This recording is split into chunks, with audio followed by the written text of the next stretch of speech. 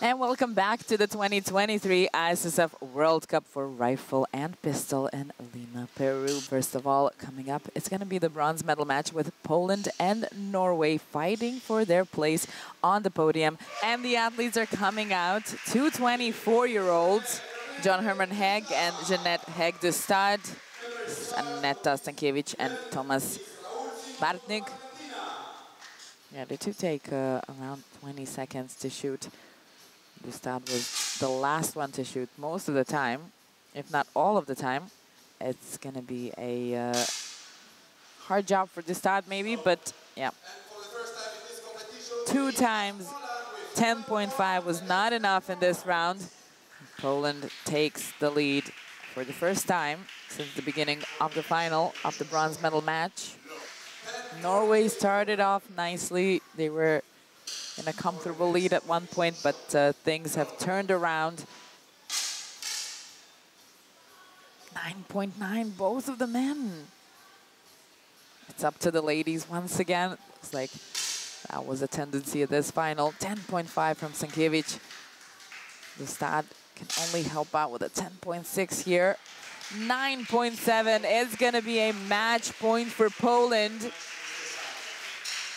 They were not in the lead until the last four rounds, turning things around, coming to a match point, 16 points for Aneta Stankiewicz and Thomas Bartnik as they win another one of their so it's the big deal, the gold medal match between France and Hungary.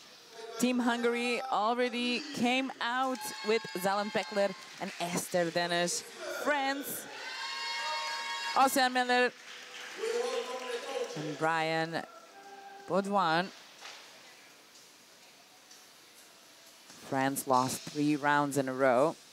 And uh, with this, winning the first two points for the French team.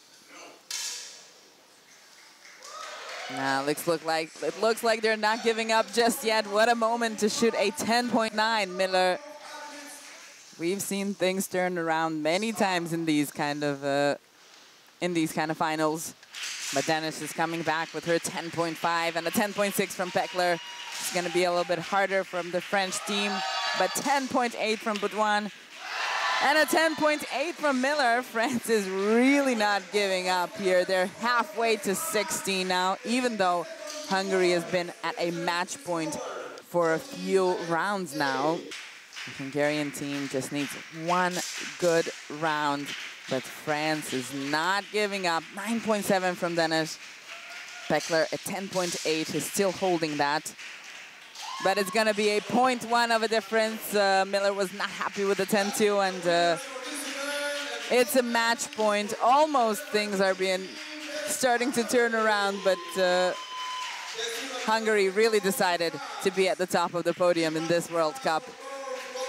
It's going to be the second World Cup 10 meter discipline medal for Pekler and the second this year for Eszter Denes. And the winners and gold medalists for the 10 meters air rifle mixed teams representing Hungary, Zalan Pekler and Eszter Denes.